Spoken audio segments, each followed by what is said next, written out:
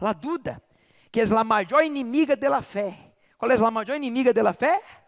La duda. Assim como Deus, por meio de sua palavra, produz fé, que é certeza, segurança, o diabo ha luchado e promovido la duda. Assim como a fé produz vida, la duda produz muerte.